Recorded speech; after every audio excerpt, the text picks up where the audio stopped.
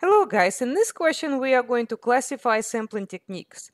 So I can't discuss this specific question number three of the practice exam is because I want you to have some opportunity to do stuff on your own as a part of your preparation. So uh, I will just give you another example, but the idea will be the same. So you're supposed to know five sampling methods. So imagine that we have a garden, right? So we have an apple garden and we are growing lots and lots of different apples apple trees different varieties on in there okay? So let's say you want to know what is the yield in, in other words how uh, how much apples do your trees produce in the garden? So how could you do that? So how can you select a sample? Because you do not want to uh, measure the the yield of each specific tree because maybe your garden is huge so what are you going to do? So one way of doing it is if you can number your trees and have a computer select a random sample for you.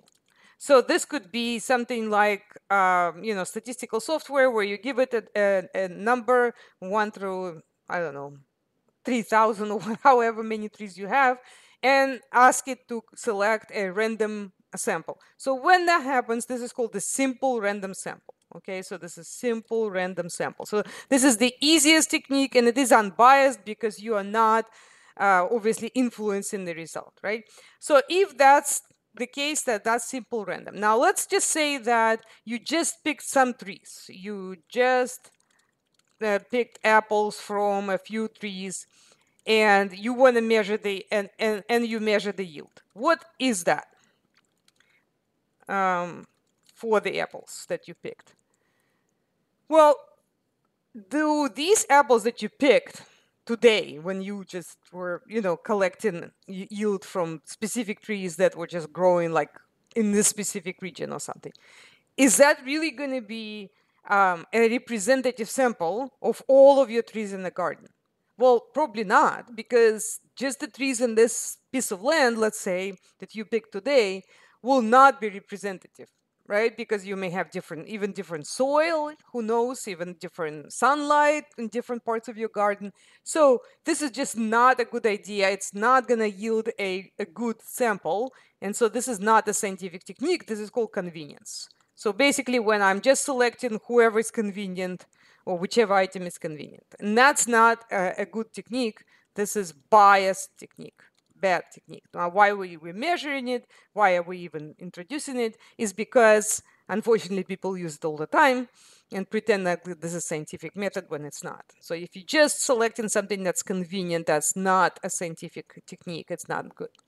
Another thing you could do if you number all of your trees, you could pick, so if you pick every, for example, 12 tree, now, every time you hear this, every fifth, every seventh, every twelfth, every whatever, this is called systematic. So you should know that. This is a good technique. It is uh, not biased. It's fine. And if you could go ahead and number all your trees and just select every whatever, that's good. A lot of times this technique is also used when we actually do not have a list of everyone. So you, for example, it could be a manager uh, of a restaurant. You really can't get all of your customers. So you may select every 12th customer who comes to you for dinner, whatever, lunch, breakfast, whatever.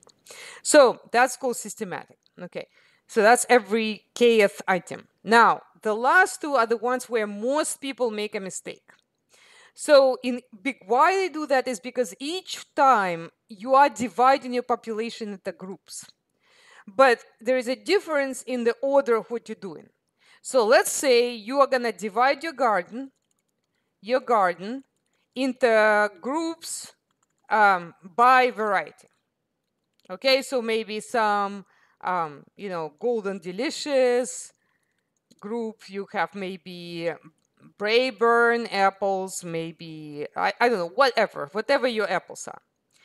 And then, then select a random sample from each group. So you are dividing it first into groups, and then from each group, you're selecting a random sample. Why is this a good technique? Why is this maybe preferable than something like number one? Well, the reason why that's the case is because you want to make sure that in your sample every variety is represented. If you just take a random sample and you have a lot of different varieties of trees in your garden, it is possible that some of those varieties, because it was just random selected by computer, those varieties will not get picked. So this is called stratified uh, sampling method basically helps you make sure that there is a random sample from each group. So it's kind of like an extension of um, simple random, but you are first subdividing your, um, your population into groups. So that's stratified. Now, what happens with cluster? So imagine now divide your garden into small plots of land. Okay, so you just basically dividing it into squares or whatever. Then what you're going to do is randomly select some of them. Notice that in stratified, you're not randomly selecting some groups. You're actually taking a random sample from each group. Okay? Here you're dividing into small plots, groups, whatever, and then randomly selecting some of them. Then take every tree in the um, plots selected. So you can see that this is different, right? Because you are randomly selecting some squares, but then taking everybody in this, each square. Whereas in stratified, you're dividing into groups and take a random sample from each group. So not going to take everyone, because then it'll be everyone, right? Because you are taking every single group and then taking every single apple, apple tree. That, that does not make sense. So this is cluster. So I cannot emphasize how important it is to make sure you do not get them switched because then you lose points for both, right? So think about it, maybe draw a picture that will could help you remember.